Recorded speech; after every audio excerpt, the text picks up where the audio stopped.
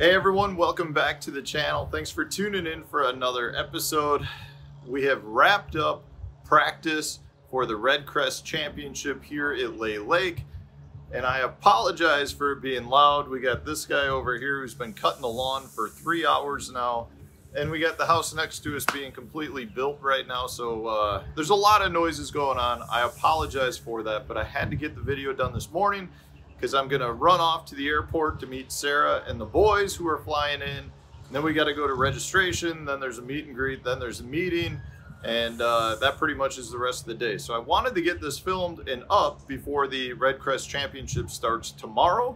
If you happen to be in the Lay Lake area, you should come on out and say hi. And uh, practice has been uh, ups and downs. Let's put it that way. I had. Uh, I've, I've pretty much seen the lake from dam to dam. I think it's roughly 40 miles. This lake really fishes like a river. I was expecting it to have a lot of current. I was not necessarily expecting it to be as river-like as it is. I mean, it's really basically river with backwaters is how I would describe it. You know, you've got some bigger creek arms, but they they almost act as backwaters more than uh, just a creek arm. So I, I like seeing that. I'm a river guy. I really enjoyed uh, looking at the lake. I like how it sets up. The first day of practice was okay.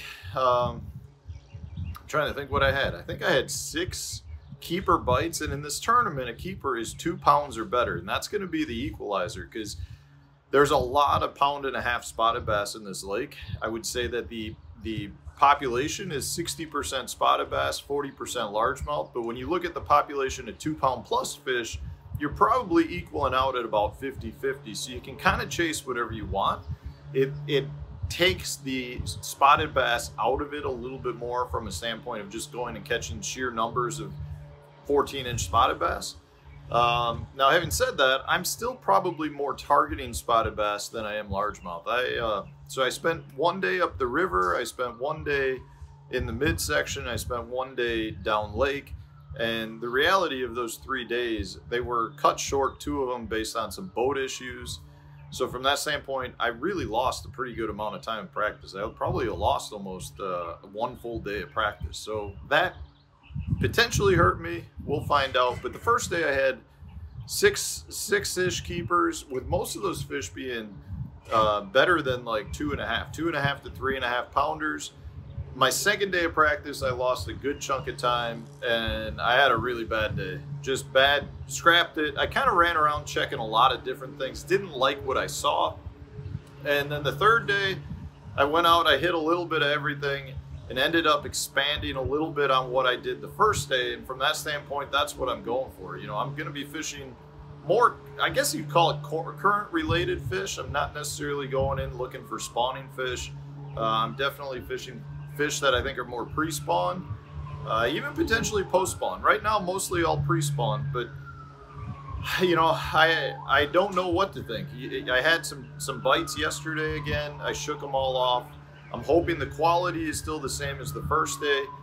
You know, because that's that's the big question mark with respect to this event is what is what is the weight you need to keep moving on. So the first two days, everyone fishes. The top 20 out of 50 anglers move on.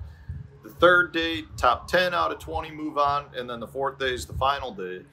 And I, most people I've talked to, the guys I'm staying with, everyone feels like if you can get to that 25 pound mark, you should be pretty good. Um, I really think it might take a little bit less than that. I think it might be closer to that upper teens, right around 20 pound mark. You know, I think tw- uh, 10 two pound class fish is pretty good anywhere you go in the country. And I don't know that this place is fishing all that great right now. So I tend to think that if you can get, I'm thinking, you know, eight, nine keepers, you're going to be right around 20, low 20s, even potentially upper teens. Uh, and I think that's the number you need. But I do think to feel safe, you're going to need 25 pounds. So I think, uh, I think I've, if the bite holds up, I think there's, you know, potential to definitely do pretty decent in the tournament. It's just a matter of whether the bite holds up. Because when we got here, we had raging current, high water, muddy water, and over the course of the last couple days, the water has dropped, the current has slowed up, the water has cleared up, water temperature is increasing. It's only going to continue to increase. so there's a lot of fish moving. I do think in this tournament, somebody's going to have to probably make adjustments from the first day of the tournament to the last day if they happen to be in the final day, and that might really determine who the winner is. But uh, it'll be it'll be an interesting tournament. I'm looking forward to getting out there and uh, seeing what we can do. But other than that, guys, thanks for watching.